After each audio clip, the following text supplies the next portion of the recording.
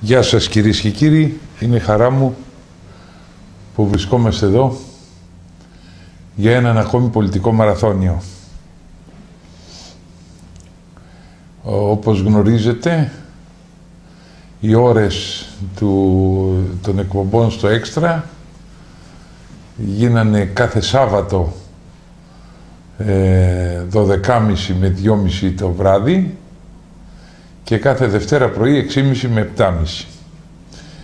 Να ενημερώσετε και τους φίλους σας και τους γνωστούς σας όλους ότι αυτές είναι οι νέες ώρες μετά την ε, απόφαση δικαστηρίου η οποία εκδόθηκε. Να ευχαριστήσουμε όλους τους φίλους και τις φίλες για την καλοσύνη σας, για τη στήριξή σας. Να ευχηθούμε οι μέρες αυτές, μια και πλησιάζει και το Πάσχα, να είναι μέρες ε, περισυλλογής και κατάνοιξης και όλοι να πάρουν τα διδάγματά τους και τη φώτισή τους από το Θεό όλοι και όλες. Και προπάντων οι ηγέτες αυτής της χώρας ή αυτοί που θέλουν να είναι ηγέτες καλό είναι όλοι αυτοί να προσευχηθούν λίγο γιατί η πολιτική ζωή εδώ και καιρό έχει παραστρατήσει. Εν πάση περιπτώσει σας ευχαριστούμε ε, σας θυμίζουμε ότι η Ένωση Κεντρών οργανώνει στις 13 του μηνός Απριλίου, δηλαδή την προηγούμενη Κυριακή από το Πάσχα, συγκέντρωση γνωριμίας νέων μελών στην Αθήνα, στην οδό Μάρνης αριθμός 12. Είναι πολύ γνωστή η οδός Μάρνης 12, μας παρεχωρήθη μια αίθουσα και εκεί θα γίνει η συγκέντρωση η γνωριμία των νέων μελών και η συζήτηση για τα ονόματα των νέων ευρωβουλευτών, δηλαδή των υποψηφίων ευρωβουλευτών της Ένωσης Κεντρών. Γιατί όπως έχουμε ανακοινώσει, όπως έχουμε ανακοινώσει, η Ένωση Κεντρών μετέχει στις ευρωεκλογές της 25ης Μαΐου. Θα είναι λοιπόν η πρώτη συγκέντρωση ε, στελεχών.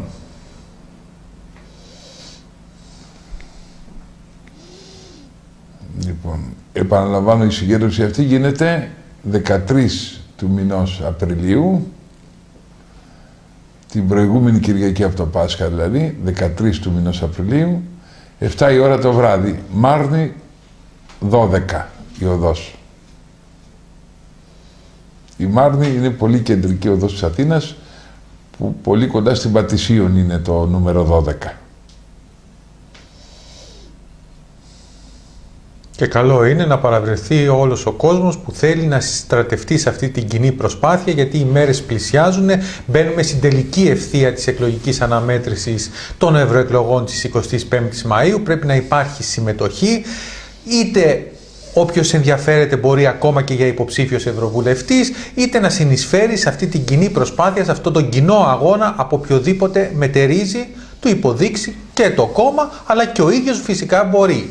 Πρέπει να υπάρχει συμμετοχή, πρέπει να υπάρχει αφύπνιση της κοινωνίας, μπαίνουμε στην τελική ευθεία.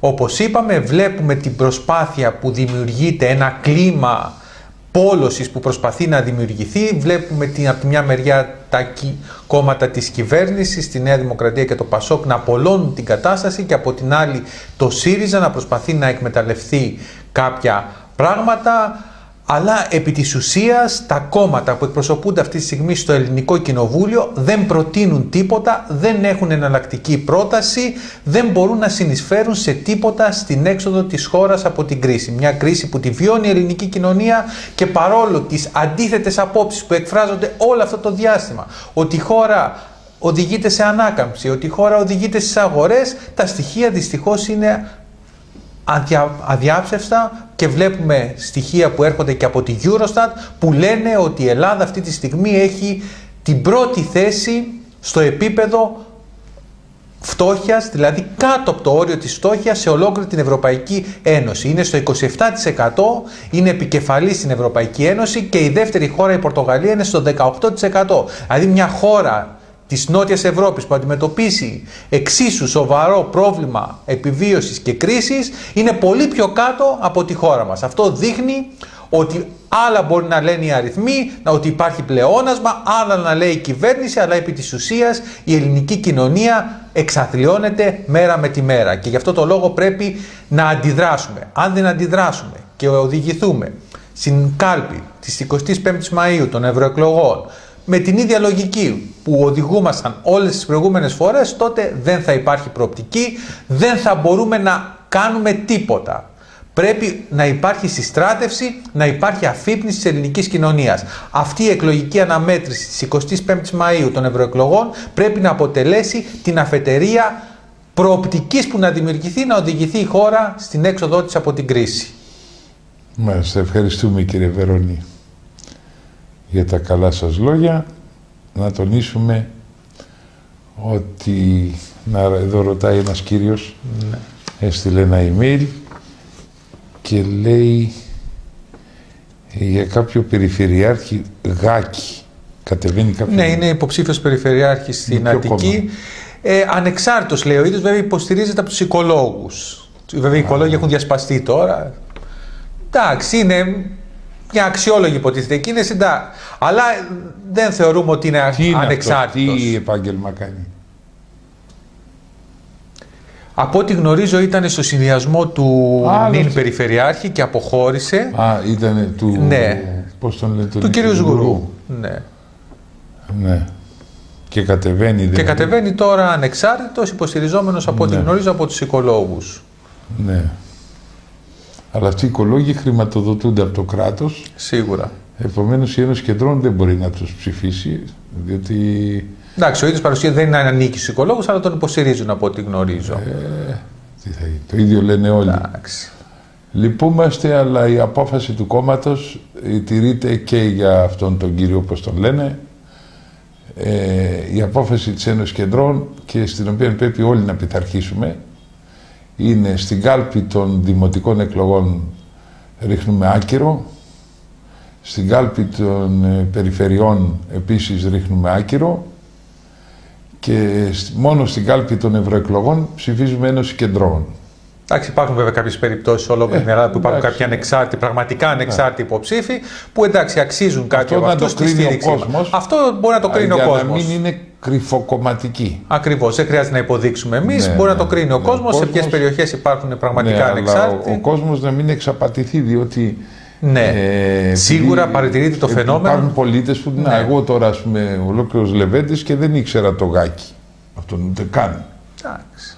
Ας πούμε, πάρα με τι ναι. κριτήρια ο κόσμος θα πάει να ψηφίσει. Είναι και αυτό το ζήτημα. Ότι ο ναι. άγνωστος, ο αυτός που είναι εντελώς άγνωστος, πώς θα πείσει; Σίγουρα, εντάξει, αυτό υπάρχει στις δημοτικές και περιφερειακές εκλογές. Μετά μου λέτε ότι ήταν με τον Σγουρός. Ο Σγουρός την προηγούμενη φορά είχε υποστηριχθεί από το Πασόκ.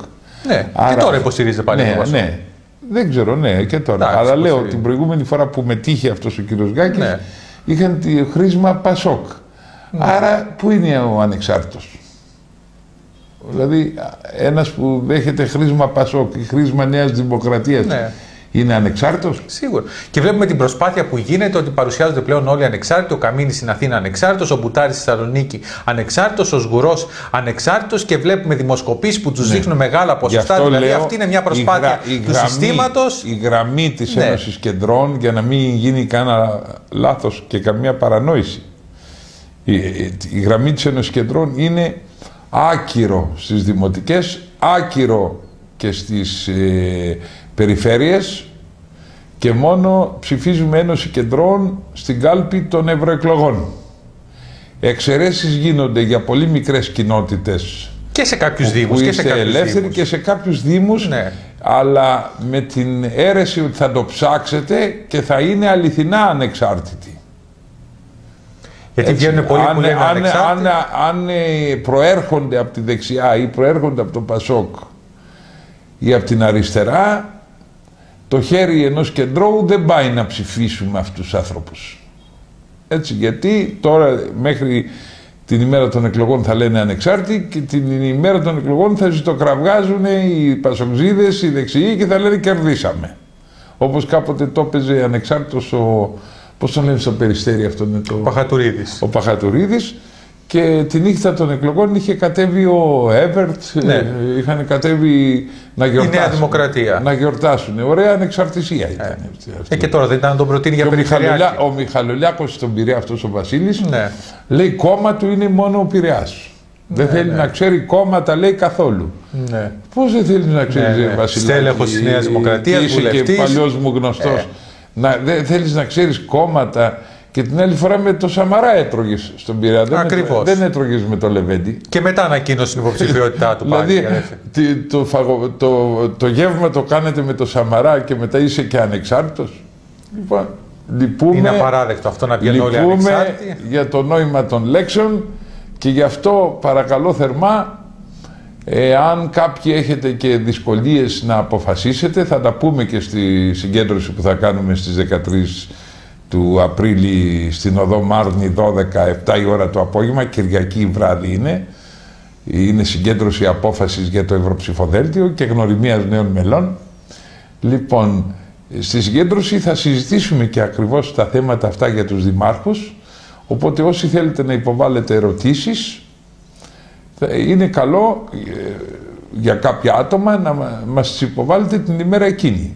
Πάντως αυ- το κριτήριο και το περίγραμμα της απόφασης είναι όπως σας το περιέγραψα. Ακριβώς. Ε, να μην Πάντως πέσω- η βασική πολιτική μάχη θα δοθεί στις ευρωεκλογές. Εννοείται. Εδώ πρέπει να εστιάσουμε. Και θέλετε το θέμα να, των δημοτικών. Να σας πω και κάτι. Ναι. Να σας πω και κάτι για τους Δήμους και για τις περιφέρειες. Εγώ σέβομαι και την τοπική αυτοδιοίκηση και τις περιφέρειες. Ξέρετε πόσο στηρίζει η Ένωση Κεντρών το να απλώσει η εξουσία, να φύγει από το κολονάκι η εξουσία και να πάει και στο τελευταίο χωριό η εξουσία. Σε αυτό είμαστε σύμφωνοι.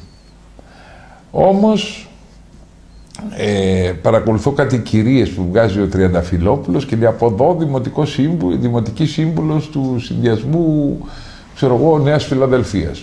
Και εγώ την ήξερα την κυρία δεξιά. Και λέει ανεξαρτήτου συνδυασμού, ανεξαρτήτου. Ναι, ναι.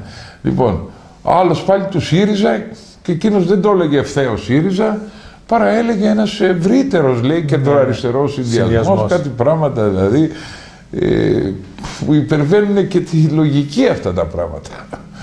Λοιπόν, ε, παρακαλώ θερμά, επειδή ζούμε εποχές που υποτιμάται η νοημοσύνη του κόσμου, χρειάζεται ιδιαίτερη προσοχή. Όπου δεν ξέρετε κανένα, ψηφίστε άκυρο. Και τους βλέπετε όλους κομματικούς. Δηλαδή στον Πειραιά, ας πούμε, κατεβαίνει κανένας ανεξάρτητος αληθινά, όχι. Αληθινά ανεξάρτητος Όχι. όχι. Σε μεγάλες πόλεις. Λοιπόν, στις μεγάλες... Α, μα και Δύσκολο. εκεί κυρίως. Τώρα σε είπα στα χωριά... Αυτό ας- σε ας- μικρότερους Δήμους εντάξει, Ας υπάρχει ψηφίσουν δυνατότητα. ό,τι θέλουν. Ας Ακριβώς. ψηφίσουν ό,τι θέλουν. Ναι, γιατί είναι και Η, προσωπικέ η γραμμή της Ένωσης Κεντρών, λοιπόν, είναι μόνο στις ευρωεκλογές που ψηφίζουμε το ευρωψηφοδέλτιο Αυτό είναι το βασικό. της Από εκεί και Ένωσης πέρα Κεντρών. στις δημοτικές... Έτσι. Λοιπόν, να λήξει το θέμα αυτή η Ακριβώς, ναι, συζήτηση. Ναι. Η βασική μάχη, η γενική πολιτική μάχη είναι οι ευρωεκλογές. Ναι. Και ελπίζουμε στις ευρωεκλογές παρά τα περί του αντιθέτου που λένε οι δημοσκοπήσεις, ελπίζουμε η Ένωση Κεντρών να πάρει έναν τουλάχιστον ευρωβουλευτή, ίσως και δεύτερο. Θα μου πείτε πώς το ελπίζεις ρε Λεβέντη, αφού ε, σε όλες τις δημοσκοπήσεις δεν αναφέρεται πουθενά η Ένωση Κεντρών. Όπως είπα και σε ένα δημοσιογράφο στην ε, Ρόδο, υπάρχει ένας καθηγητής Βερναρδάκης στη Θεσσαλονίκη, ο οποίος εξήγησε γιατί οι δημοσκοπήσεις είναι απατεωνιά. Είπε λοιπόν ο εν λόγω κύριος καθηγητής, το συμπεριλάβαμε και στην εφημερίδα Αντιδιαπλοκή την καινούρια, το, στο καινούριο τεύχος, την ομιλία του, είπε ότι γύρω στους 350 με 400 χιλιάδες Έλληνες έχουν κόψει το τηλέφωνό τους, λόγω φτώχειας. Αυτοί δεν ψηφίζουν δι- στις δημοσκοπήσεις ενώ δεν απαντούν διότι δεν έχουν τηλέφωνο. Αυτοί τι εκπροσωπούν, σίγουρα εκπροσωπούν τα 2 εκατομμύρια ανέργους αυτοί οι άνθρωποι. Άρα δεν εκφράζεται και δεν απαντάει, το πιο πολύτιμο κομμάτι αυτή τη στιγμή, το πιο σπουδαίο κομμάτι της Ελλάδας, που είναι η δυστυχία, οι δυστυχισμένοι. Άμα δεν μιλάνε αυτοί, ποιοι να μιλήσουν οι κολονακιώτες και οι βιομήχανοι και οι έμποροι; Ακριβώς. Είναι πολύ ουσιώδες. Αυτοί εκφράζουν. Άρα έχουμε, αποκόπτεται από τις δημοσκοπήσεις ένα τέτοιο ποσοστό λαού που αριθμεί ε. τους ανέργους. Ένα τεράστιο ποσοστό. Ένα 30 με 35%. Ένα το κρατούμενο. Ένα άλλο δεύτερο στοιχείο, λέει ο κύριος Βερναρδάκης, ο κύριος καθηγητής, είναι ότι στους 7 ένας δέχεται να απαντήσει, οι άλλοι κλείνουν το τηλέφωνο. Και το ποσοστό αυτό τίνει να γίνει 11 προς 1. 11 να, τηλέφωνα να κάνουν οι κοπέλες, ένας να απαντάει. Και επειδή συνήθως λέει αυτοί που απαντούν είναι οι κυβερνητικοί, είναι και το ΣΥΡΙΖΑ, είναι των κομμάτων, των, κομμάτων, ναι, των κομμάτων οι βολεμένοι, οι υπόλοιποι που κλείνουν το τηλέφωνο είναι ο, μεγα... ο άγνωστος Χ. Ακριβώς. 40% σου λέει Και καταλήγει λοιπόν ότι αν αθροίσουμε αυτούς που μου τζώνουν και κλείνουν το τηλέφωνο και τους 400.000 άλλους που έχουν κομμένο το τηλέφωνο αυτά που λένε για Θεοδωράκη ότι έχει 10 έως 20% είναι παραμύθια. Όπως επίσης είναι και παραμύθια και τα άλλα. Εγώ πιστεύω και για τις ότι ο Καμένος παίρνει 4, εγώ πιστεύω ότι και αυτός είναι έτοιμος για φούντο. Και ο, δηλαδή μπορεί να μην πάρει ούτε ευρωβουλευτή. Όπως και η Ελιά. Και, και το κουκουέ εγώ το βλέπω πολύ. Γιατί όταν βλέπεις την Κανέλη να λέει τσογλάνι τον, ε, τον, Τζίπρα. σημαίνει ότι έχουν φτάσει σε απόγνωση και στο κουκουέ. Πουλήσανε το 902, έγινε το κανάλι ε με δεξιά απόχρωση. Άκρο δεξιά. Ναι, θες πάντων. Λοιπόν, και είναι σε απόγνωση και το κουκουέ. Είναι όλα τα κόμματα έχουν ε, ε, κόψει τις ε, γέφυρές τους με την κοινωνία. Τώρα πού θα πάνε οι ψήφοι; Πού θα πάνε οι ψήφοι; Εδώ είναι το μεγάλο ζήτημα. Οι ψήφοι να μην πεταχτούν στο σκουπιδοντενεκέ ψηφίζοντας κόμματα, κάτι άλλα κόμματα, δράση.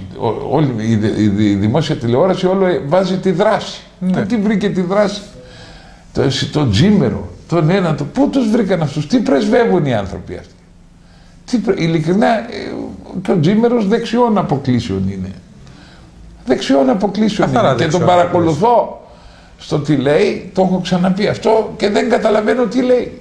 Ειλικρινά, δηλαδή τι πρεσβεύει, τι θεολατρεύει, εγώ δεν μπορώ να καταλάβω. Ήταν την προηγούμενη εβδομάδα στην εκπομπή του Πρετεντέρης στην Ανατροπή. Ε. Και τι, η μόνη αναφορά που έκανε είναι να έρθει σε αντιπαράθεση με την εκπρόσωπο του ναι. ΚΚΕ. Αν το ΚΚΕ είναι δημοκρατικό κόμμα, είναι ναι, φασιστικό ναι, κτλ. Με τον εκπρόσωπο του ΚΚΕ που ήταν εκείνος, Αυτό εκείνος πρεσβεύει. Δεν πρεσβεύει τίποτα. Αυτό. Τίποτα. Δεν, είπε, δεν αναφέρθηκε σε μια θέση. Το αν είναι δημοκρατικό το ΚΚΕ ή αν είναι δημοκρατική η Νέα Δημοκρατία. Ο καθένα το αντιλαμβάνεται από μόνος του. το Πασόκ το ξέρουμε. Καταρχάς ο, ο Καψής, ο οποίος είναι υπουργός στη δημόσια τηλεόραση, θα είναι λέει υποψήφιος στην Ελιά με τον ναι, Πασόκ. Ε, Άρα ποια, δεν έπρεπε να παραιτηθεί από υπουργός. Παραιτήθηκε; Όχι, δεν παραιτήθηκε. Αυτό δεν το καταλαβαίνω. Όταν είσαι υποψήφιος τώρα στην Ένωση Κεντρών, μπορείς να είσαι και υπουργός. Δηλαδή αυτός ο καψής τι έχει, το κοκαλάκι της νυχτερίδας ναι. και μπορεί από τη μια αντικειμενικά να αντιμετωπίζει τα θέματα της δημόσιας τηλεόρασης και από την άλλη είναι υποψήφιος του Πασόκ όχι πως έχει καμία προοπτική ελιά. Απλώς το λέμε για το δεοντολογικό της υπόθεση. Δεν υπάρχει ηθικό έρισμα. Ακριβώς, δεν υπάρχει να είσαι, ηθική. Να είσαι υποψήφιος στην ελιά, δηλαδή στο ναι, Πασόκ. Ναι. Και να είσαι και υπουργός στη δημόσια τηλεόραση. τηλεόρασης. Και γι' αυτό έκανα και την πρόβλεψη και παρακαλώ κρατήστε την κασέτα. Θα κλείσει και η δημόσια τηλεόραση. Θα μου πείτε πού το ξέρεις κύριε Λεβέντη ότι θα κλείσει; Γιατί λειτουργεί με τα ίδια πάλι στάτους και τα ίδια πρότυπα. Πάλι τα ίδια αρχίσανε. Σίγουρα πάλι στο λογιστήριό της θα γίνεται το σώσε. Πάλι κάποιοι παράγοντες θα παίρνουν μεγάλους μισθούς. Πάλι ατασταλίες θα γίνονται. Γιατί οι ίδιοι άνθρωποι ξαναφτιάξανε και τη δημόσια τηλεόραση που ήταν στην ΕΡΤ. Και τώρα πριν τις εκλογές θα ξεκινήσουν την ΕΡΙΤ, ναι. το νέο δηλαδή. Τέλος πάντων. Τερατούργημα το λέω, με προσλήψεις που θα γίνουν παραμονές των εκλογών για να υποφεληθούν. Είτε δημόσια τηλεόραση είτε ΝΕΡΙΤ, κάνω μία πρόβλεψη. Από την ώρα που είναι κομματόσκυλα και από την ώρα που ε, μπαίνουν μέσα να εργαστούν οι υπάλληλοι ε, υπό την προϋπόθεση να υπηρετούν την εκάστοτε κυβέρνηση θα έχει την ίδια αυτοί οι άνθρωποι θα χάσουν τη δουλειά τους πολύ γρήγορα και κρατήστε την κασέτα αυτή να δούμε αν θα επαληθευτεί ο Βασίλης Λεβέντης. Όχι με κακία, δεν το λέω με κακία. Η αποστολή της δημόσιας τηλεόρασης είναι ο πλουραλισμός, είναι η ισότιμη παρουσία των κομμάτων, είναι η διαφάνεια στη διαχείριση, είναι η υπηρεσία του, του, του πολιτισμού μας, της ομογένειάς μας. Δεν βλέπω το μυαλό αυτών των ανθρώπων να διαφέρει σε τίποτα από την ΕΡΤ. Ακριβώς. αυτό Δεν υπάρχει πλουραλισμός καταρχήν. Βλέπουμε τις εκπομπές. Φρονώ ότι οι άνθρωποι. Μόνο εκπρόσωποι κυβερνητικοί. Ναι, σε κάθε εκπομπή. Φρονώ και παίζουν παιχνίδια. Α πούμε, παρουσιάζουν τη δράση, παρουσιάζουν ναι. το τζίμερο και εμάς στην Ένωση Κεντρών καθόλου. Τίποτα. Αυτές είναι βρώμικες ενέργειες τις οποίες θα τις καταγγείλουμε. Λοιπόν, Πού βασίζουμε το ότι η Ένωση Κεντρών θα κερδίσει έναν Ευρωβουλευτή, ίσως και δεύτερο; Εγώ πιστεύω και για δεύτερο. Γιατί όπως σας περιέγραψα στις δημοσκοπήσεις, μεγάλο ποσοστό λαού τους μουτζώνει όλους.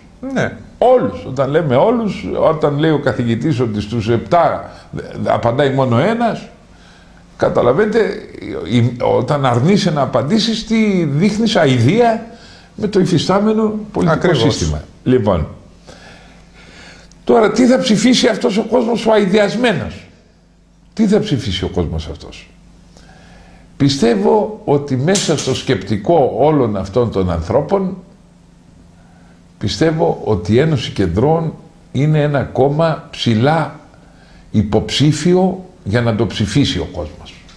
Είναι η θέση μου αυτή. Είναι και το συμφέρον των ανθρώπων ε, τέτοιο να βγάλουν κάποιον από την Ένωση Κεντρών, το Λεβέντι, κάποιο συνεργάτη, να υπερασπιστεί ε, τον κοσμάκι, τη φτωχολογιά. Μάλιστα να είναι καλά ένας φίλος μας Αντώνης από τη Βέρεια, παλιός φίλος από το Πασόκ ήταν ο κύριος αυτός και ακολούθησε την Ένωση Κεντρών τώρα στον αγώνα μας, μου είπε κύριε Λεβέντι μου υποβάλλω μία παράκληση. Έτσι λέει όπως θα λέει στο ψηφοδέλτιο Ένωσης Κεντρών, γράψε από κάτω, ε, πώς μου το είπε, ε, λαός Λεβέντης φτωχολογιά. Γράφει το λέει αυτό. Γιατί αυτό είναι που με έφερε και μένα κοντά σου. Εγώ ήμουν λέει σε ένα μεγάλο κόμμα το Παζόκ, είχα πάει να διορίσω την κόρη μου, να διορίσω το γιο μου, Είχα πάει, να έπαιρνα δάνεια και εγώ σαν απλός πολίτης για να επιζήσω.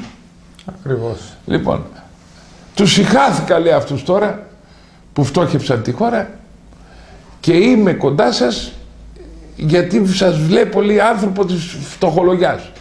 Δέχεστε και ερχόσαστε σε πολύ απλό καφενείο Βλέπω ότι βαδίζετε στον δρόμο σαν απλός πολίτης και σας χαιρετάει ο κόσμος Βλέπω ότι είστε καταδεκτικός, ακούτε λίγο όλους, ακόμη και αυτούς που έρχονται κουκουέδες, κάτι φασίστες, έχει η Βέρεια, έχει και φασίστες. Παντού. Ειδικά η Βόρεια Ελλάδα έχει ένα μικρό ποσοστό και από φασίστες. Τους δέχεστε με καλοσύνη και τους εξηγείτε, εις τους κουκουέδες τους εξηγείτε ότι έχουν μείνει στο μεσαίωνα. Πράγματι, ας πούμε, οι κουκουέδες ε, ε, είναι θλιβερή η εικόνα τους του Κουκουέ, ας πούμε, αυτή τη στιγμή. Είναι, κάνει χωριστές συγκεντρώσεις, χωριστές πορείες. Όλοι οι άλλοι είναι κακοί, μόνο αυτοί είναι καλοί. Δηλαδή, η συμπεριφορά τους δείχνει ότι είναι κομπλεξικοί οι Έλληνες κομμουνιστές. Λειτουργούν αυτόνομα, ναι. βλέπουμε συνδικαλιστικά. Δηλαδή, αν πεις στο, στο, πώς λέγεται ο Κουτσούμπας, ο καινούριο, η Παπαρίγα ουσιαστικά κυβερνάει, ο Κουτσούμπας είναι διακοσμητικός. Αν της πεις να βγάλουμε το λαό στην Αθήνα, ενώ ο λαός θα πηγαίνει στην Αθήνα, αυτοί θα πηγαίνουν ε, πιο πέρα, αλλού. Σαν να έχει λέπρα ο υπόλοιπος ο κόσμος. Δηλαδή δεν τον θέλουν τον άλλο κόσμο, τον φοβούνται. Φοβούνται μη χάσουν, ε, φυλακίζουν τους οπαδούς τους οι κουκουέδες. Μην τυχόν τους φύγουν οι οπαδοί. Και δεν είναι τυχαίο που και στο κτίριό τους ε, στον Περισσό έχουν μεγάλους μαντρότυχους. Έχουν κάτι μαντρότυχους πέντε μέτρα ύψος. Ναι, να, μην ναι. φε- να μην βλέπεις μέσα. Τι γίνεται; Τι κάνουμε μέσα, ρε παιδιά; Τι είστε. Οι μασόνοι κάνουν κάτι τέτοια. Οι μασόνοι, ξέρετε τι κάνουν. Κάτι μεγάλους τείχους με κάτι θεόρατες πόρτες. Ας πούμε, να, νομί, να, να νομίζω ότι μέσα γίνονται, τι να πω, τι, τι, τελετές. Κάτι, κάτι τέτοιο να συμπεραίνεις και να αισθάνεσαι δέος.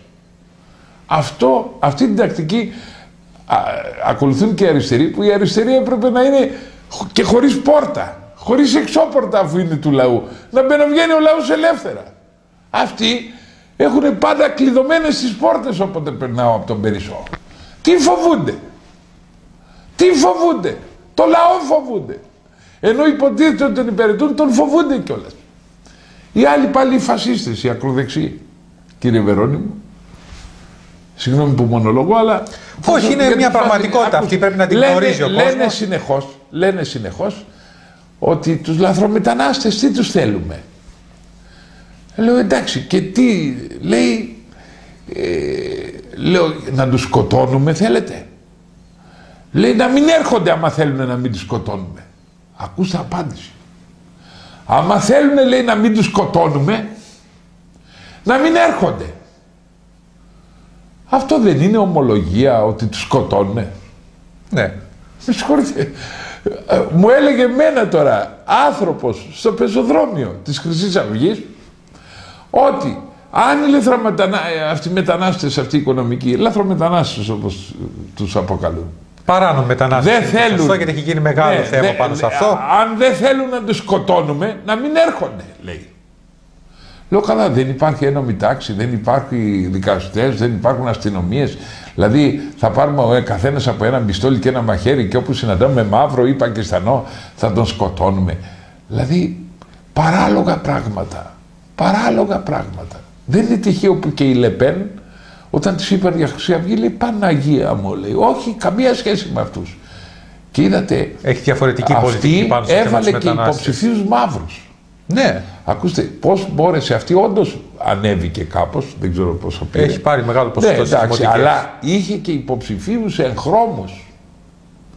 Άρα ε, ήταν, είναι πολύ εξυπνότερη από τον πατέρα της, φασίστρια κι αυτή, αλλά αυτή είναι κρυφοφασίστρια.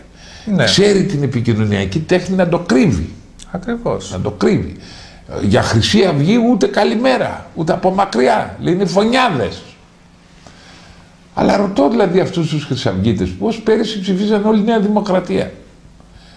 Καλά, ε, πιστεύουν ότι αυτή είναι η λύση για το μεταναστευτικό; Να τους σκοτώνουμε και δι' αυτού του τρόπου να φοβηθούν, να σηκωθούν, να φύγουνε; Ε, δεν θα φύγουν αυτοί. Ξέρετε τι θα κάνουνε; Θα οπλιστούν και αυτοί και θα πάμε σε εμφύλιο. Ήδη γίνονται πολλές δολοφονίες και Ναι, μέλος Και αυτό που Όλα έγινε αυτά είναι ό,τι στις χειρότερο. φυλακές της Νιγρήτας. Απαράδεκτο Αυτό που γεγονός. έγινε στις φυλακές Α, Η αυτοδικία είναι απαράδεκτο. της γεγονός. Νιγρήτας. Να κάνουμε ένα μικρό διάλειμμα να πούμε ξανά για την ε, συγκέντρωση. Ακριβώς, ναι, είναι Έχουμε Κυριακή, συγκέντρωση 13 Ένωσης Απριλίου. Κεντρών 13 του Απρίλη, Κυριακή, ε, 7 η ώρα το απόγευμα.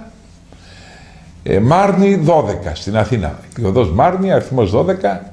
Κυριακή, 7 η ώρα το απόγευμα, 13 του Απρίλη. Η προηγούμενη Κυριακή από το Πάσχα. Και καλό είναι ο κόσμος να έρθει, Συγκέντρωση να υπάρχει νέων μελών, γνωριμία, συγκέντρωση να νέων συζητήσουμε ό,τι θέλετε. νέων μελών και ανακοίνωση του μεγάλου μέρους των ε, υποψηφίων ευρωβουλευτών της Ακριβώς. Ένωσης Κεντρών. Ερχόμε, επανερχόμεθα τώρα στο θέμα και στο ίντερνετ βεβαίως στο αντιδιαπλοκή.gr θα υπάρχει ανακοίνωση σχετικά. Ακριβώς. Και επίσης, μια που λέμε και για το αντιδιαπλοκή GR, καλό είναι να μπαίνει ο κόσμος να ενημερώνεται και για τις εκπομπές που κάνετε στην επαρχία και τις ανακοινώσεις του κόμματος. Παράλληλα, μπορεί να μπαίνει όποιος θέλει και έχει λογαριασμό στο Facebook. Υπάρχει και Facebook της Ένωσης Κεντρών και να μπαίνει εκεί πέρα γίνεται και ένας επικοδομητικός διάλογος ανάμεσα σε φίλους και μέλη της Ένωσης Κεντρών με προτάσεις για το πρόγραμμα, με προτάσεις εν ώψη του προεκλογικού αγώνα για την Μάλιστα. Ευρωβουλή. Όλα αυτά καλό είναι να συμμετέχει. εκεί. Επανερχόμεθα στο θέμα της Νιγρήτας, γιατί Βεβαίως. ρωτούν οι τηλεθεατές Βεβαίως, ναι, εδώ, ναι. βλέπω πολλά email και πολλά fax. Ε, στο θέμα της Νιγρήτας. Εκτεθήκαμε σαν χώρα. Πήγε αυτός ο άνθρωπος, ο Αλβανός, φωνιάς Φωνιάς, και σίγουρα. έσφαξε έναν σοφρονιστικό υπάλληλο. Έγκλημα βαρύτατο, δεν υπάρχει αμφιβολία, και τιμωρητέο. Πρέπει να τιμωρηθεί αυστηρά. Ναι. Και εντάξει, λέμε λιντσαρίσματα, η Χρυσή Αυγή, όπως και πάει κάποτε που φέρανε τον Πακιστανό με το καράβι, έναν Ναι. που είχε τη Μυρτό στην Πάρο. Που τη... Ναι, αλλά τώρα επιτρέπεται Και η ήταν- υπάλληλη σοφρονιστική. Ναι, ναι, αυτό. Δηλαδή, τότε πήγε η Χρυσή Αυγή με κάτι φανέλες μαύρες στο καράβι να τον βουτήξει από το μεταγωγό μέσα από το αυτοκίνητο να τον λιντσάρει. Ακριβώς. Ε, είναι η τρέλα των χρυσαυγητών. Είναι να η πούμε. ιδεολογία Η τους, ο τρέλα φασισμός τους, τους. Οι φωνιάδες. Ναι. Κρατική λειτουργία όμως επιτρέπεται; Πε- Είναι αυτο, κάνουν αυτοδικία. Θέλουν μόνοι τους να αποδώσουν Ακριβώς. δικαιοσύνη. Αλλά εδώ τώρα οι σοφρονιστικοί υπάλληλοι, αυτοί από τους οποίους περιμένουμε να σοφρονήσουν Ακριβώς. τους κρατουμένους, να σκοτώνουν έναν επειδή σκότωσε ένα συνάδελφό τους. Δηλαδή, δηλαδή ο συνάδελφός τους, συγγνώμη, γιατί δεν σκοτώνουν έναν άλλο; Μες στον Κορδαλό ή μες στις φυλακές, είναι πολύ φωνιάδες. Γιατί δεν σκοτώσανε τους άλλους φωνιάδες, σκότωσαν αυτόν Που σκότωσε σκότωσε συνάδελφό έναν τους. από εκείνους. Αυτά τα πράγματα ξέρετε πώς θα επισημανθούν στο Συμβούλιο της Ευρώπης και στα ανθρώπινα δικαιώματα που κάνουν κάθε χρόνο απολογισμό για όλα τα κράτη. Ξέρετε πώς θα περιγραφεί η χώρα μας; Θα περιγραφεί Ζιμπάμπουε. Σίγουρα είναι απαράδεκτα φαινόμενα και έχουν ξανασυμβεί δυστυχώς σε ελληνικές φυλακές σε άτομα βέβαια με βαριά αδικήματα όπως Εγώ είναι όταν το παιδεραστές και τα άκουσα, λοιπά, αλλά όταν- δεν είναι και όταν σωστά. άκουσα ότι τον ε, είχαν σε μεγάλο βαθμό κακοποιήσει, λέω μάλλον ψέματα θα είναι. Έτσι, δεν, δεν πίστευα ότι μπορεί Έλληνες οι, οι, οι, υπάλληλοι του Υπουργείου Δικαιοσύνης που είναι οι σοφρονιστικοί υπάλληλοι να σκοτώσουν κρατούμενο. Οποιοδήποτε κρατούμενο. Τον Ό,τι Γκάκη, αδίκημα και να τον έχει κάνει. Αλκαπόνε, τον Ό,τι Δον αδίκημα. Κορλεόνε. Ό,τι δολοφονία μάλλον, όχι Ναι. αδίκημα, γιατί ναι, αλλήμωνο. ναι, ναι. Συνεπώς, είναι και αυτό δείγμα του τι λύσα και τι μίσος επικρατεί εδώ μέσα. Ακριβώς. Είναι, είναι ε, απόδειξη του τι στραβό δρόμο έχει λάβει η χώρα. Να λοιπόν η αξία των Ευρωβουλευτών της Ένωσης Κεντρών. Εκεί που οι άλλοι ε, δημιουργούν ταξικά μίση, φιλετικά μίση, ζουν στο μεσαίωνα. Η Ένωση Κεντρών έρχεται και θέλει να φτιάξει κράτος. Με κύρος, με τάξη, σύγχρονο ευρωπαϊκό κράτος. Γιατί δεν υπήρχε κάτι καλύτερο που μπορούσαμε εμείς να τιμωρήσουμε αυτόν τον Αλβανό που το φωνιά. Να τον τιμωρήσουμε. Δεν είπε κανείς. Και Εννοείται αυστηρότατα. Αυτό. Πρώτος εγώ θα συνηγορούσα. Αλλά τώρα τον δικαιώσαμε κιόλας. Τώρα του δώσαμε και δίκαιο με τη στάση αυτή. Τον κάναμε ήρωα Ε, ναι, ναι. στους Και να Αλβανούς. ξέρετε ότι οι Αλβανοί ήδη έχουν κάνει συγκεντρώσεις διαμαρτυρίας Ναι. για, τον, για τον ήρωά τους τον Ακριβώς. οποίο Ο οποίος ήταν δολοφόνος, δολοφόνησαν οι άφησε Έλληνες ορφανά δύο παιδιά. Μέσα στις φυλακές και τέτοια Ε. πράγματα. Δηλαδή, καταλάβατε τώρα. Αυτά τα λάθη κάνουν. Τι- Γύρισε μπούμεραγκ δηλαδή. Α- Από ένα κράτος που ε, φαινόταν αρχικά ότι μας δολοφονήσαν εμάς έναν Έλληνα οι Αλβανοί Ακριβώς. φτάσαμε εμείς κατά ένα ψυχρό τρόπο έναν φυλακισμένο στην απομόνωση να τον σκοτώνουν Έλληνες σοφρονιστικοί πάλι. Αυτό πραγματικά δεν ξέρω δηλαδή δεν έχω και εικόνα να έχει γίνει κάτι χειρότερο τα τελευταία χρόνια από αυτό. Ειλικρινά, δηλαδή, γιατί ενέχονται απολύτως οι υπάλληλοι του Υπουργείου Δικαιοσύνης. Και αν Σίγουρα, κρατική λειτουργία, αυτό και είναι το αν χειρότερο. Μέσα, α- αν μέσα στο Υπουργείο Δικαιοσύνης ε, κάνουν, υπηρετούν τέτοιοι υπάλληλοι, τι, να, τι δικαιοσύνη είναι αυτό το πράγμα. Λοιπόν, ε, επίσης, ε, παρακολουθούσα λίγο Τριανταφυλόπουλο προχθές εδώ που τον αναμετέδει το, ε, ναι, το έξτρα μια φορά Τη βδομάδα για που αυτή μας την πέρασε, την υπόθεση προηγούμενη την εβδομάδα, Ιγρήτα, ναι. στην Ιγρήτα το Ναι. φόνο του Αλβανού και τηλεφωνούσαν πολλοί, εκεί λέει, στέλνανε μηνύματα ότι καλά του κάνανε. Είπα για Παναγία μου, ε, τέτοια κτίνη υπάρχουν εδώ μέσα στην Ελλάδα. Σε μια Δηλαδή, αυτή πολιτισμένη τη χώρα κοινωνία που η ζω. αυτοδικία δεν νοεί. Άρα κύριε Τριανταφυλόπουλε, Κύριε Τριανταφυλόπουλε, μήπως το ακροατήριό σου είναι φασίστες; Το λέω αυτό, θα σας πω γιατί. Γιατί όταν κάνω εγώ εκπομπές, δεν τηλεφωνούνε τέτοιοι να λένε καλά κάνανε που σκοτώσαν οι σοφρονιστικοί υπάλληλοι. Άρα έχετε δημιουργήσει ένα κοινό με αυτά που κάνετε ότι η Χρυσή Αυγή έχει 20%. Η Χρυσή Αυγή είναι, έχει ρεύμα και το κρύβουν και ότι ο, ο Σαμαράς έβαλε τους εισαγγελείς να τους συλλάβουν ε, για να τους εξοντώσει. Όλα αυτά κύριε Τριανταφυλόπουλε, τι σας έχουν κάνει; Το ακροατήριό σας να είναι ακροδεξιοί φασίστες. Ακριβώς. Αυτό. Όπως έχω πάει και σε άλλες εκπομπές στη Βόρεια Ελλάδα και εκεί πάλι δεν τις έβαλα ούτε στο αντιδιαπλοκή GR γιατί αηδίασα. Θα σας πω γιατί. Έκανα εκπομπές και έλεγα ότι οι χρυσαυγίτες έχουν μέσα στο αίμα τους την εγκληματικότητα και να σου υπογράψουν χαρτιά ότι θα λειτουργούν με πολιτικούς όρους αυτοί μέσα τους έχουν προς το έγκλημα και θα σου βγάλουν το σουγιά να σε μαχαιρώσουν. Ναι. Γιατί έτσι είναι. Α, πέσανε λοιπόν απάνω μου κάποιοι τηλεθε... ακροατές εκεί και τηλεθεατές. Τι είναι αυτά, γιατί τον καλέσατε τον κύριο Λεβέντη και λοιπά και λοιπά.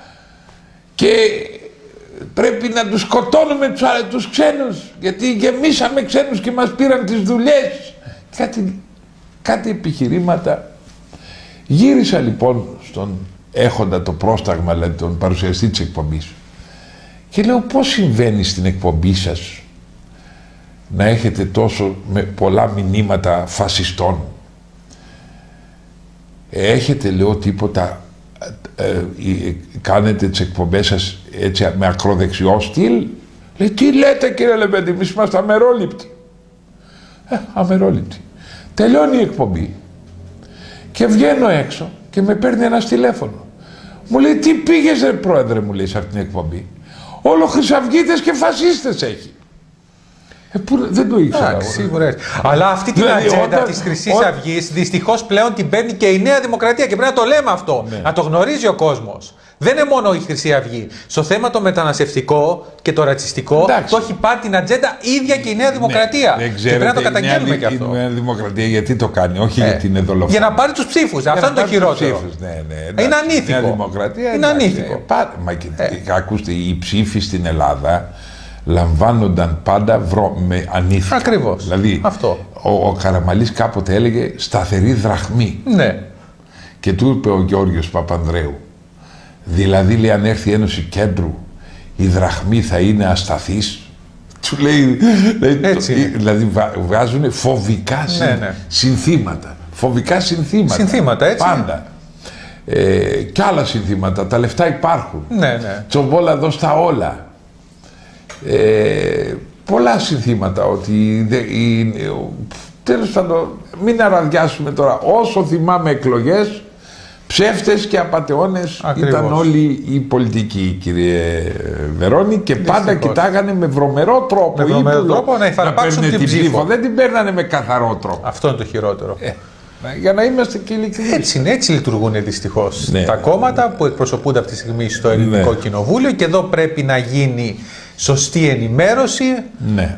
στον κόσμο ώστε να γνωρίζει πώς λειτουργούν, όπως πώς λειτουργούν και εταιρείες δημοσκοπήσεων. Θα έχουν δημοσκοπήσεις μέχρι και παραμονή των εκλογών, δηλαδή μέχρι και Παρασκευή πρώτων ευρωεκλογών Ναι. Εγώ θα λέω γίνονται μήπως δημοσκοπήσεις με τις για να δι- κατευθύνουν την κοινή Μήπως γνώμη. με τις δημοσκοπήσεις βγάζοντας αυτή η Νέα Δημοκρατία, ΣΥΡΙΖΑ, Ποτάμια και τέτοια, μήπως πετύχουν το αντίθετο αποτέλεσμα. Δηλαδή ο κόσμος τους είπε έτσι θέλετε ρε κερατάδες εσείς οι καναλάρχες. Αυτό θέλω να πιστεύω και Εμείς- εγώ. Αυτό θέλω να Εμείς θα πιστεύω σας και πάμε εγώ. κόντρα Ακριβώς. και θα ψηφίσουμε ξέρω εγώ Λεβέντη για να σας τιμωρήσουμε. Κόντρα στις δημοσκοπήσεις. Ναι, για να σας τιμωρήσουμε. Που εδώ το, το χάρισμα της Ένωσης Κεντρών δεν είναι μόνο ότι τιμωρείται, σίγουρα τιμωρείται το σύστημα ψηφίζοντας Ένωση Κεντρών. Αλλά συγχρόνως, εδώ υπάρχει στην Ένωση Κεντρών και ένα σχέδιο ε, να φτιαχτεί η οικονομία. Ακριβώς. Να φτιαχτεί η Ελλάδα. Δηλαδή να διώξουμε... Υπάρχουν προτάσεις. Οι, ναι, οι πολυθεσίτες να πάψουν να έχουν πολλές δουλειές. Μία θέση ο καθένας. Οι διπλό και, οι διπλό και τριπλό συνταξιούχοι. Μία σύνταξη ο καθένας. Τα χρήματα των κομμάτων να σταματήσουν. Λέει, είπαν οι Γερμανοί να γίνει νόμος ελέγχου των οικονομικών των κομμάτων. Από ανεξάρτητη αρχή. Από ανεξάρτητη αρχή. Αλλά τι είναι αυτό; Γελίο τι είναι αυτό; Γελίο Ακριβώς. Και, και στη Βουλή τα αποθετήσεις έχουν ορκωτούς. Ε. Όλοι κλέβουνε. Λοιπόν, ακούστε κάτι τώρα. Ε, με, με όρους και με ελέγχους, ο κλέφτης δεν γίνεται καλός άνθρωπος. Και κάτι σε αυτό να συμπληρώσω, αν μου επιτρέπετε, στο θέμα της κρατικής χρηματοδότησης των κομμάτων. Ναι, μεν λένε να μειωθεί, αλλά την περίοδο των εκλογών θα παίρνουν κανονικά τα κόμματα. Ναι, ναι, να μειωθεί δηλαδή την Κύριε υπόλοιπη Βερόνη, περίοδο. Ακούστε Ε, κάτι. Εδώ και οι Γερμανοί Ναι. ε, λειτουργούν ηλίθια. Νομίζουν και οι Γερμανοί ότι με νόμους διορθώνεται Ακριβώς. ένα διεφθαρμένο σύστημα. Σε άλλη χώρα μπορούσε να συμβεί αυτό. Ναι, ναι, σίγουρα. Σε χώρα ευνομούμενη.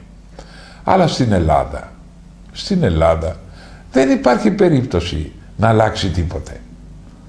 Δεν υπάρχει περίπτωση να αλλάξει. Σας το λέω εγώ με κα- πάσαν ευθύνη. Ε, ε, εδώ γίνεται συμψηφισμός. Κλέβει ο αριστερός, κλέβει και ο δεξιός. Εμφανίζονται στα κανάλια οι δεξιοί, εμφανίζονται και οι αριστεροί εξίσου. Δηλαδή και, έχουμε, και εκεί αφού εμφανίζονται αυτοί εξίσου έχουμε δημοκρατία. Ναι. Και ο Λεβέντης πουθενά. Έτσι την Ε, αντιλαμβάνονται. τέτοιου είδους. Δηλαδή και οι Γερμανοί εδώ νομίζουν ότι με το να αλλάξει ο νόμος να μειωθούν τα χρήματα των κομμάτων θα διορθωθεί ή να μπαίνει οι νορκωτοί λογιστές να ελέγχουν ότι θα ε, ε, βελτιωθεί η πολιτική κατάσταση στην Ελλάδα. Η πολιτική κατάσταση στην Ελλάδα δεν βελτιώνεται. Γιατί ο Βαρβιτσιώτης ο γέρος βάζει το γιο του. Ο Μητσοτάκης βάζει το γιο του, την κόρη του, τον εγγονό του. Ο Παπανδρέου βάζει το γιο του, ο ένας βάζει, ο Ταλιαδούρος βάζει το γιο του, ο Αλευράς τον ανήψό του και ούτω καθεξής. Λοιπόν, Και ούτε θα περάσει αυτό με το και θέμα. ούτε οι της ταβατσίδες. μείωσης Ε, χρηματοδότησης. Καταρχάς, καταρχάς η μεγαλύτερη χρηματοδότηση σήμερα είναι να εμφανίζεσαι στα κανάλια. Ακριβώς. Δηλαδή, Δωρεάν θέλω να σου χρόνος. πω, παρά να μου δώσετε εμένα 10 εκατομμύρια ευρώ να ξοδέψω σε εκλογές. Καλύτερα να με βγάλετε πέντε φορές Στο Μέγκα, στον Αντένα, Μέγκα, σε όλα στον τα Αντένα κανάλια. και θα πάρω 20%. Άρα το πρώτο ζήτημα που πρέπει να μπει τάξη είναι να λειτουργήσουν δημοκρατικά τα ΜΜΕ. Και για να λειτουργήσουν δημοκρατικά τα κανάλια, τι πρέπει να γίνει, να μην παίρνει άδειο αντένα επάπειρον. Να του λες του αντένα, λειτουργήσε, αλλά στο τέλος του χρόνου θα φέρνεις τα στοιχεία πώς λειτουργήσες και αν έχεις λειτουργήσει πλουραλιστικά, με ισοτιμία, με σεβασμό στους νόμους, αν έχεις στηρίσει κάποιους κανόνες, τότε ανανεώνεται η άδεια για τον επόμενο χρόνο. Έτσι μόνο μπαίνει η τάξη. Έτσι μόνο μπαίνει η τάξη. Και μετά να απαγορεύεται να έχουν δεύτερο κανάλι τρίτο. Ο Αντένα έχει το, Μα- το Μακεδονία, δεύτερο κανάλι. Τι είναι αυτό; Αυτό τι είναι; Συν Ο πόσα Κοντομινάς έχει το 9, δορυφορικά. έχει το 9, έχει Ναι. και τον Α. Ακριβώς. Δηλαδή, τι, μπορεί ένας να έχει τρία κανάλια, δύο κανάλια. σταματήσουν οι όμιλοι, Δεν το φαντάζομαι. καταλαβαίνω αυτό. Οι άλλοι έχουν το Star, έχουν και το Mega. Ναι. Δηλαδή, γίνεται... Ε, άμα ξεκινάει βρωμερά το πράγμα, άρα και οι Γερμανοί κάνουν λάθος. Δεν αντιλαμβάνουν την ελληνική Ε, πραγματικότητα. ε, ε, μάλλον βοηθάνε το Σαμαρά τώρα. ε, Φαίνεται ε, καθαρά και η πλέον. Μέρκελ. Και το τελευταίο ότι θα Eurogroup έρθει που έγινε πριν- την πριν προηγούμενη την- εβδομάδα. Πριν την 25η Μαΐου, πριν τις ευρωεκλογές, Ακριβώς, θα έρθει η θέλει Μέρκελ για στήριξη. Να βοηθήσει το Σαμαρά. Ναι. 100 Μέρκελ να έρθουν κύριε Σαμαρά. Όσο υπάρχουν 300.000 τριπλοσυνταξιούχοι, 220.000 τριθεσίτες, πολυθεσίτες δηλαδή, όσο υπάρχουν το 30% των δημοσίων υπαλλήλων να είναι αργόμιστοι και να μισθοδοτούνται χωρίς να αποδίδουν, χωρίς να προσέρχονται καν στην υπηρεσία τους. Όσο υπάρχουν 12.000 αποσπασμένοι που είναι και αυτοί αργόμιστοι από το δημόσιο. Ακριβώς. Πολύ σωστά. Λοιπόν, όσο υπάρχουν αυτές οι πληγές και όσο συνεχίζεται η μέθοδος, τώρα ναι μεν δεν διορίζουν έτσι ε, αφιδώς όπως στο παρελθόν, αλλά κύριε Βερόν λένε θα πάρουν οι Δήμοι 7.000 ε, συμβασιούχους. Τι είναι αυτό πάλι; Συνεχίζουμε την πληγή και το καρκίνωμα των συμβασιούχων. Ακριβώς. Αυτοί οι άνθρωποι ανεβαίνουν στο δημόσιο και μετά αισθάνονται όταν τους διώχνεις σου λέει με διώχνεις από τη δουλειά μου. Ναι, ναι. Όπως οι καθαρίστριες, όπως Έτσι. το ένα, όπως το άλλο. Λοιπόν, χρειάζεται να μπει τάξη στη χώρα. Να γίνουν και αυτή επενδύσεις με την τάξη, πραγματικές θέσεις. αυτή την τάξη, άλλο κόμμα από την Ένωση Κεντρών δεν έχει τη θέληση να, ου- και την δύναμη να την επιβάλλει. Δεν Λοιπόν. ακούμε τίποτα από κανέναν. Πραγματικά δεν υπάρχει εναλλακτική πρόταση από κανένα κοινοβουλευτικό κόμμα, αλλά και από κάτι άλλα κόμματα που έχουν βγει το τελευταίο διάστημα και προβάλλονται από τα κανάλια. Ναι. Λοιπόν, επειδή σας εξυπηρετούν θυμίζουμε συγκεκριμένα ότι οι συμφέροντα. ώρες εκπομπής ε, των εκπομπών μας στο έξτρα είναι 12.30 με 2.30 Σάββατο βράδυ. 12.30-2.30 Σάββατο έγινε η μέρα εκπομπής και Δευτέρα πρωί 6.30 με 7.30. Σας θυμίζουμε επίσης ότι ε, Την Κυριακή 13 την Κυριακή Απριλίου. 13 Απριλίου ε, την προηγούμενη δηλαδή Κυριακή από το Πάσχα 7 η ώρα το απόγευμα γίνεται συγκέντρωση στελεχών και νέων μελών της Ένωσης Κεντρών στο, στην οδό Μάρνη 12 στην Αθήνα. Ξαναλέω, Κυριακή 13 Απριλίου, η προηγούμενη μέρα του Πάσχα, η προηγούμενη Κυριακή του Πάσχα, 7 η ώρα το απόγευμα, Μάρνη 12. Λοιπόν, Τηλέφωνο για συνεννόησης εν ώψη όλων αυτών των πραγμάτων και που δέχομαι είναι το 6944 39 44 37. Ξαναλέω. 6944 39 44 37. Και τώρα θα μου επιτρέψετε κύριε Βερόνη να πω τις τελευταίες λέξεις σε αυτή την εκπομπή. βεβαίως. Είναι η εξής. Αν ξαναψηφίσετε ό,τι λένε οι νταβατζίδες στα ΜΜΕ και ό,τι λένε οι απαταιώνες που έχουν τις εταιρείες δημοσκόπησης, θα είστε άξιοι της τύχης σας, δεν θα έχετε δικαίωμα ούτε να παραπονείστε. Θα με βλέπετε στον δρόμο και θα σας λέω καλά να πάθετε. Ευθέως σας το λέω. Να εξηγούμεθα. Δηλαδή λαός που μετά από τέτοια που έχει πάθει συνεχίζει να ψηφίζει τα ίδια, ό,τι υποδεικνύει ο κάθε να μην πω νταβατζής, ένας τέτοιος λαός πια είναι αφιλοσόφητος και από εκεί και πέρα το μόνο που του μένει είναι πόσο πιο κάτω θα πάει. Στα τάρταρα. Εκεί. Διότι οι μεγάλοι φόροι, τα μεγάλα βάρη, να ξέρετε ότι μας περιμένουν, να σας πω πότε, μετά τις 25 Μαΐου. Τα μεγάλα κοψίματα μισθών και σε... Ας λέει τώρα ο Σαμαράς ότι θα βγει στις αγορές και να κάνει... Είδατε τι κάλεσε τους ξένους υπουργούς και πρωθυπουργούς και τους έλεγε για την αρχαία Ελλάδα, ο Θουκυδίδης ήταν εδώ, ο Αριστοτέλης λίγο πιο εκεί, ο Απόστολος Παύλος πιο εδώ, μου θύμισε τον Καρατζαφέρη. Κύριε Σαμαρά, εκείνη τη βραδιά που μίλησες στους ξένους ηγέτες, ειλικρινώς δεν διέφερες σε τίποτα από τον Καρατζαφέρη. Ντροπή σου κύριε Σαμαρά, κατάντημα είναι αυτό. Λοιπόν, ευχαριστώ κύριε Να είστε Βερόνη για την καλά. καλοσύνη σας.